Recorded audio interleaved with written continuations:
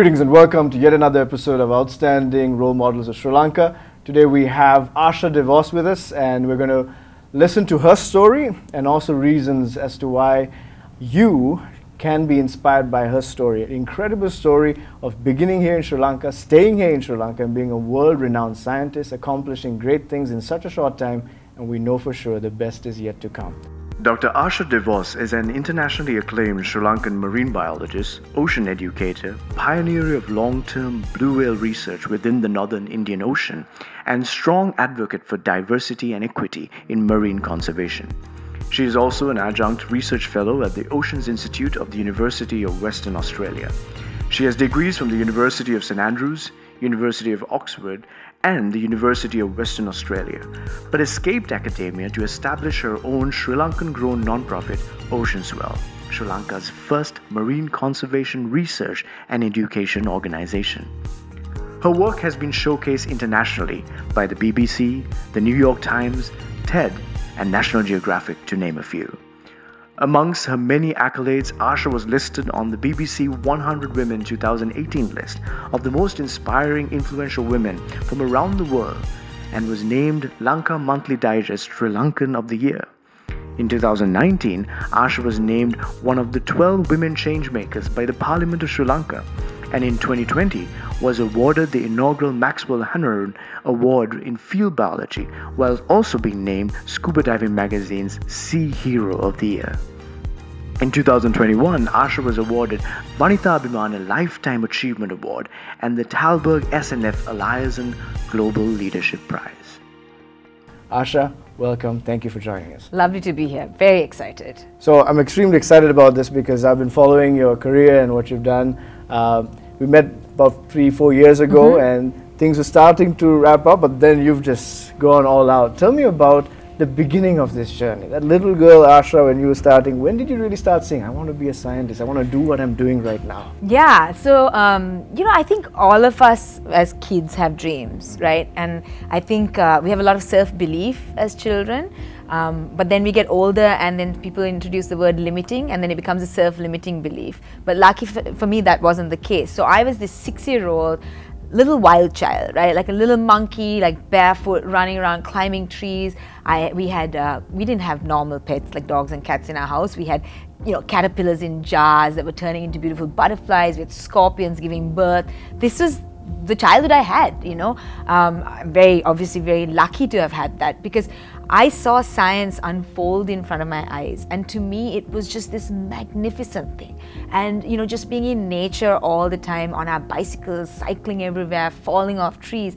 For me, that that sense of adventure, you know, that like I don't know where I was going to go that day, you know, mm-hmm. that was huge. And I think those kind of those little feelings, those senses, um, it was something that I held on to. And, you know, going through, my parents would bring back National Geographic magazines, all secondhand. You know, they'd be like, oh, here, like a random copy from like the 80s or whatever. And you flip through and you see all these people going to these incredible places, you know, and I'm thinking, I want to be that person. I want to go where no one else has ever gone and see what no one else will ever see, right? Mm. Um, and I will be honest, none of those people looked like me, mm. right? None. But because I didn't have the self limiting belief, I didn't think it was not possible. Mm. I was just like, I can do this, I will do this. And so for me, it all started off with the dream to be an adventurous scientist, mm. right? Um, but then I fell in love with water. My parents sent us for swimming because obviously as a safety measure and i just thought wow this is magnificent right you like get in you it's just you know your body is supported by this water um, I would see the ocean every day, but you know, culturally, we didn't spend that much time at the ocean and the beach, like you know, mm. recreationally or anything. But it was that intrigue. Mm. You know, I was drawn towards like I knew this has to be something more. It wasn't just a tank of water. Mm. Um, so I think you know that curiosity that I was allowed to have as a kid, um, that sense of trust that my parents placed in me, that you know, yeah, you can do what you believe you need to do for yourself, right? Mm. Um, and then they introduced us to lots of people. So Sir Arthur C. Clarke, you know, renowned science fiction writer, inventor, undersea explorer, he moved to Sri Lanka to dive the wrecks that litter our shorelines. Mm. And I would sit with him after swims sometimes and you know listen to his stories, and he'd tell me these stories, which like to date I don't know if they're true, but they would be like abrupt endings. He'd be like that big brown skin that went past. He was just testing out his next book. Did probably, and I was like, yes, and then he'd be like, uh, my dive had to end. I'm like, what? Who tells like a child like a half a story, right? So I think all of these things were like the curiosity, this sense of like wonder, hmm. that idea that you know I could, it was possible, and why not me, was something that was very strong within me, and I think that's kind of where it all began. Wow. that's- You can just sense the passion, the excitement from the child to now. And it's not like you lost it halfway through. And you were not limited as a child, and now you're not limited as an adult. But one of the things that we're talking as for these outstanding role models is you had to, it was not just passion. Yeah. You had to become competent at what you're doing. Yeah. You had to work hard. You had to build skill. Tell about the grind. Tell about how hard you had to work to get where you are. Yeah. So, ah, my gosh. So you can imagine, right now I'm, uh, you know, 17 years old. Um, everyone's making decisions about what to do with their lives, right? At 17, somehow you're supposed to magically know uh, what your the rest of your life will look like. And I'm at the point where I'm like, I'm like resolute that I'm going to be a marine biologist, right? Uh, because it had adventure, science, and salt water. So for me, perfect. I had my career carved out. But you know, uh, you know, when we grew up at a time at when people didn't know what, what a marine biologist was. So I'd tell all these aunties and uncles, they'd be like, Ane puta, great, wonderful. What are you going to do with that degree? How are you going to make money? There is no scope for it here, right? And I was like, what? I was very confused because uh, this is an island, right? If anyone has a job, it's me. It's Yeah. marine, right? So I, you know, like, the, and then they would say, oh, you have to go abroad to study because you can't study here. That means you won't come back. It was that was the that's what they believed. Mm. So a lot of no, a lot of naysaying. That's what I faced right at the start. You know, I hadn't even got off the ground, and people were telling me I couldn't. Mm. But for me, there were a few things. One was that I just kept saying, I'll carve my own niche. I had no idea what I was going to do, but I knew I could do it, right? The second thing was I knew that my goal in life was to come back and serve Sri Lanka. So I was going to go to bring back. Hmm. That's what I was going for to bring back to my country and to serve my country.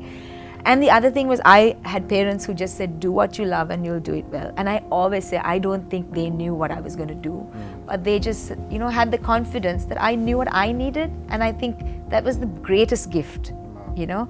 Um, so, you know, that's just one example. But my goodness, the journey has been constantly, you know, people people who never thought to do it themselves suddenly waking up and being jealous right um, trying to get in my way trying to stop me uh, to you know just being a woman in the field right people assume it's a man's job which is mad because all i'm doing is caring for the oceans and you don't have to be a specific gender or specific you know come from a specific background or a particular age to care for something right i care for the oceans and that's what marine conservation is about uh, so people constantly telling me, "Oh, it's a man's job. You shouldn't be doing this." To you know, just everything is like, for some reason, everyone feels they need to tell me what I can't do. But you know, I'll be honest, that's what's fueled me. Every time someone says you can't, I'm like, "Thanks very much. That's just something else I'm going to prove you wrong on." You know, um, so it's just you know, but it, it is it's a grind. And uh, okay, just to give you an example, I after my uh, first degree, I wanted experience. Right now, I had learned things in textbooks. So now, how do you? What is a marine biologist? And I wanted to get some field experience. So um, I decided to uh, go to New Zealand because that was the only country that would let me go because Sri Lankan passport. Uh, it was an open-ended sort of like I was like, can I just go for six months, right? And you know, with our passport, it's difficult. So they were very generous. They said, fine, we'll give you a six-month visa. I couldn't afford to fly, so I actually I was in Scotland doing my undergraduate at St Andrews. I worked in the summer as a uh, tattie roguer. Basically, that's a person who digs rotting potatoes out of potato fields, right, to save money. Disgusting job, hot sun. Scotland hardly has sun, but somehow the time I was working, it was very sunny. collecting these rotten potatoes that are going squish in our hands from that i saved enough money to get to new zealand got to new zealand realized i didn't have money to stay in a four bedroom house or anything like that so i lived in a tent for the most part of six months um, you know just so that i could get this experience Yeah. you know so the list is endless but Yeah. everything I knew was taking me close to where I wanted to be. This is amazing. So somebody, I want to be like Dr. Asha. I want all that. I want the, I want the awards. I want the recognition. I want the. Wait, stay in a tent? Yeah, yeah, right. Potatoes. What's all this about? Yeah. What's, I don't want all that. But that's what that's the resilience that you need. This doesn't happen Yeah. overnight. And so many people say no. And the amount of hurdles that you yourself, coming from this country, not having privilege and wealth and Yeah. passport and all those limitations, being a woman, being told what you can do and you can't do, but still you're here. Mm-hmm. And that's incredible. So I just want to thank you. for, for all what you do. You. But at the same time, I, I, I've seen this amazing character and integrity in you. Uh, one of the reasons is obvious, one thing that really stands out, what you just said, is wherever I go, however much I gain, I'm coming back. Mm. Yeah. Three million Sri Lankans have left Sri Lanka, folks, and more people are lining up to leave. You can have make ten times, maybe twenty times more money than you can make here. You'll have a more uh, supportive environment or whatever, but you're here. Talk to- that's that's character, that's integrity, knowing where you started, Yeah. your country, your oceans, your people. Talk to us about that. So I think I get this like wild love for Sri Lanka from my father. Um, my father was an is an architect, but also a monument conservator. So he restored the Jethavana mon- monastery complex. He restored the Galle fort over decades. And I would, you know, as a kid, our trips were basically my mom would quickly put us in the back of the car and we would go and just spend time on these sites with him. And you know, I think subconsciously I recognize, you know, this man had so much commitment for something that wasn't giving back to him. It was a much greater cause. It was for the sake of our country, right? He wanted to restore these spaces, not because he was benefiting. He wants our, the next generation, the generation after that, to know where our heritage comes from, who we are, right? So I think that like really rubbed off on me. And his work was also as a conservationist. He was protecting buildings, right? So our natural, uh, our cultural heritage versus the natural heritage, which is what I protect. So that I think was strong in me as a kid. Um, my mom's not Sri Lankan, but if you meet her, you'd think she was born and brought up in this country as well. Like she's full on, thousand percent Sri Lankan as well, right? So that identity was strong from the time I was young. And you know, I just, this country is incredible. There is so much to offer if you don't give up on it, right? I'm not saying it's perfect. I recognize the chaos. I recognize what's going on here. It makes me sad because we have potential. Yeah. But if every single one of us gives up, then then what? You know? And to me, there's never been one minute. So I, I was away for you know about 14 years doing all my degrees, um, working abroad, and everything was about like, okay, I want to gain a bit more because then I can take more, right? Take back more. That was my mindset. You know, at, I came to a point. I was doing a postdoc in California, so research position, and one day I turned to the guys I was working with, and they, I was like, "It's time," and they said, "For what?" I said, "I'm going home." They said, Well, we're going to raise more funding for you to stay here for a couple of years. I said, no, this is my moment. Hmm. And they said, What is it? I said, You know, I wanted to make sure that I had built enough networks and support across the world hmm. so that you could find me anywhere I was. And that was my goal, right? Why? Because I don't want to, didn't want to come back to Sri Lanka and stagnate and get frustrated. But if I had a big enough support network, I felt that no matter where I was, I would still be able to have those connections that could make me better, be the best version of myself, to produce and do more for my country. Um, and so, yeah, I moved back. I haven't had, I mean, it's been six years that I've been here, not a regret. I wake up every morning thinking about what, what can I do? I have a role to play in this country too. I can be frustrated, I can be angry, I can wake up and think I can leave, I can get a better job, I can I can go abroad. I'm sure I'd get a position. I'm sure. I mean, sounds very overconfident, but I'm sure I will. But you know what? I have a role to play in the history of this nation. And that is why I'm here.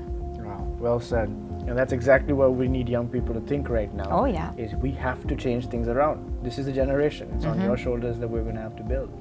And so now talking about, you know, first of all, congratulations on the award you recently won. Thank now, you. you may ask congratulations for what now? There've been a lot, lot of things going on, but, but this recent award is pretty significant. I want you to talk about that because that's another thing. Because you come with all these qualifications, and then you could look at ways of okay, how do I just find it, make it comfortable for myself? Do a few hmm. consulting things here, do a few teaching things here, but you're trying to some, do something very visionary, hmm. something way outside the box what the country needs. You're hmm. pioneering something here.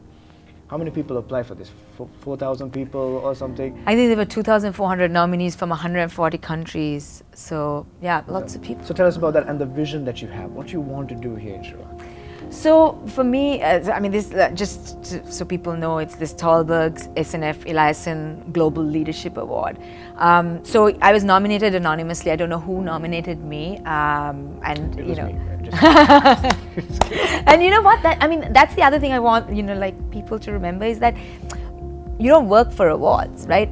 I I mean, you just work, and the recognition comes, right? So those are like high fives and Key a long point. marathon. A lot of young people these days are trying to position themselves for the award and not focus on the vision. So go ahead. So it's the vision, right? So for me, I think everything's a marathon. These awards are amazing because they kind of give you that energy, right? They remind you that you're on the right path. They're a high five on a very long marathon, right? But you don't stop, no. Once you get it, you're not like, all right, now I'm going to retire. I mean, I'm not even halfway through my journey. So this award is particularly exciting because I'm a scientist. I'm trained as a scientist, but it recognizes me as something more than just a scientist, right? Um, it recognizes this work that I've been trying to do for years now, which is really about making specifically marine conservation much more inclusive space. And traditionally, it's been very exclusive. It's been seen as, you know, that's what the people in, you know, the West do, or the developed world, or the global North, right? But for me, you know, 70% of our coastlines are in the developing world, but representation at the global stage is nothing, hmm. right? I might be like a lone voice talking on behalf of all those coastlines. I've like carved my way into this space because we need to be there at the table making decisions, hmm. right? But I can't do it on my own, right? I mean, the ocean is vast, it's huge, right? We need a giant team. We can't have that giant team unless we're being very inclusive, right? Equitable, right? Recognizing that everybody has something to contribute. You don't have to be a marine biologist or marine conservationist. You can be an accountant, you can be a baker, you can be a, a mother. You still play a role in protecting our oceans that keep us alive, right? So, you know, I, I particularly fight against this whole colonial mentality of science where people from outside, foreigners um, from the developed world will come they'll come and see our countries as exotic countries with big conservation problems. They'll do research and they'll leave. They haven't invested in the in- infrastructure, they haven't invested in uh, the local capacity, right? So when they go, it cripples what's going on on the ground, right? So there may be projects going on, but those don't get any recognition and it breaks the system. It's not sustainable, no. If we have that problem again, we have to call people across the world. What? We have talent. Talent is equally distributed, but opportunity isn't. And that's my focus. My focus is how do I create that opportunity? I want my goal in life is that every coastline should have a local hero, hmm. right? So for me, I see myself as an opportunity creator. I'm all about opening doors and I want people to just rush past hmm. because there are people with way more talent than me. Hmm. But I know what I can do, and that is make space for those people Open the doors. to do great things. That was I think the very first conversation we had many years ago, where I was just amazed. Here is a world-class scientist, but at the same time, you're, you're, you're moved with compassion to create opportunity for people. That's a you're, you you see talent and you want to make sure it happens. You're saying, how can I get to this region? I want to sort of talk to kids in the east, in the north, and you could just do something in Colombo, or just but you're passionate about everybody Yeah. and, and you're trying to create. So for young people out there, uh, just quickly now that we're on the hook, how do they get in touch with you? How how can they be part of this journey? How do they be part of this team that Yeah. revolutionizes space? Yeah, so one thing is um, you know social media because I think it's very accessible. We try to we're trying more and more also to translate our material so that we're kind of reaching even further. We've got lots of volunteers who've just volunteered to translate for Sinhala and Tamil, so that'll make it much easier for us.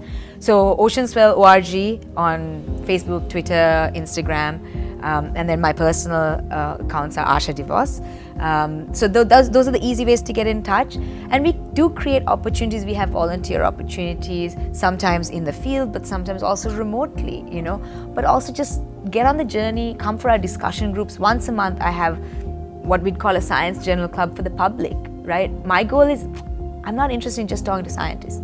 I think everybody needs to like delve in the magic of what our oceans are, what they do for us. Like there's so many I mean so many exciting things about it, right? And I want everyone to know. So just I create as many opportunities as possible for people to get on board, get involved. and just to learn so that they can recognize the role they too can play and how they can be part of the solution and not just part of the problem. Yeah, we'd love to see more young people and a lot of the Sri Lanka Unite students getting involved. We have an entire month in our year where students are supposed to be involved in environmental engagement, and maybe that can be their life purpose. Mm-hmm. And I, I, hope that many will join. Uh, I, I kind of want to come on to the conversation of your vision for the future. Mm. For, for what you're doing here in Sri Lanka, what's the ultimate? You said ocean hero in every coastline, all that, but and then also for the country. Mm-hmm. As a scientist who is passionately in love with Sri Lanka and wants the best for Sri Lanka, 20 years down the line, what should we achieve? What should we have? I want Sri Lanka to be the marine sustainability hub of the world. That is kind of this big vision. And people, like the naysayers when I was 17, I'm sure there are people out there watching right now, watching us, and thinking, she's nuts. Nah. If you don't dream big, you don't achieve big. If you think that, please do write to her. That will motivate her. More. Yeah, absolutely. You know, I love hearing. Uh, from young people. And you know, you don't have to be like a marine scientist. You know, I have so many young people who write to me and be like, you know, I, I'm in completely different field, but you know, hearing what you've done means I know I can do it. And that, I'll tell you, that to me is the greatest thing. On a personal level, I want everyone to see me and be like, she's just like me. You know, there are pictures of me sweaty in my shorts after run. There's so many people who go for runs. I'm just like you, right? I'm, you know, there's so many versions of me, and I want all to see people to see me, all those versions, and recognize I'm human. I was, I am made of the same things. I wasn't born with a scuba tank on my back. Everything I've got today, everything I've done today, I have literally created from scratch, right? So that's really important. I want that that message to go out because I want everyone to recognize it's possible for them. I'm not special, right? But for me, the vision is really like I want a whole generation of marine conservationists, marine biologists, marine scientists, conservationists in general, and self believers to emerge from this country, to recognize they have a place, that there are people opening doors, but it's up to them to take to walk through those doors. I can only hold it, yeah. right? I'm not going to be able to hold their hands and hold the door. That's difficult. But I want them to see the door open. I want them to run through it, to recognize what they can do, right? I want to change the model of how we define people in this country. What makes you a good person? What makes you a bad person? Some of our metrics of success are terrible. What you wear, whether you're married, none of that counts, mm-hmm. Right? When you want to contribute to a greater cause. Um, and I want people, the world to look at Sri Lanka and be like, wow, this is a nation that we didn't even think knew what marine science, marine conservation, marine biology was about. But today they are the leaders, and I want that to be the case. Now, that's a vision worth pursuing, and we wish you all the very best. Thank you very much. You're a treasure for this country, and I know you're Thank a true you. role model to a lot of young people. And uh, that's why the story is going to go and dubbed in Sinhala and Tamil, and we're hoping that many will engage. Uh, so we wish you all the very best. Thank you. And thank you for everything you do. Thank you very much. Thank you for this opportunity. Thank you for the recognition. And I just want everyone out there to know that you and me, we're just just normal people. And we're not special. There's no magic, you know.